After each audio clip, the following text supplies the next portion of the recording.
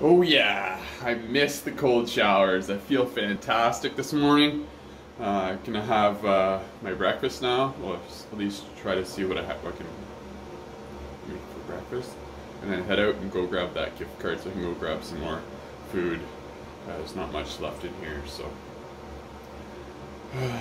so the movers came in yesterday, brought all my mom's stuff to the apartment, and uh, there's not much left in here now, so it's kind of like a not a haunted house, but it's uh, very like you can talk and it's like echoes. It echoes. It's really creepy.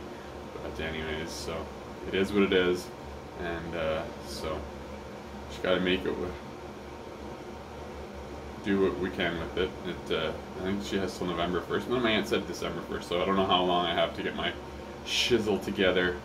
Uh, most of my stuff's to be in storage again. What else is new? Been living out of storage unit seems for like 10 years, or maybe not that long, five or six years, but anyways, so I'm kind of used to it now.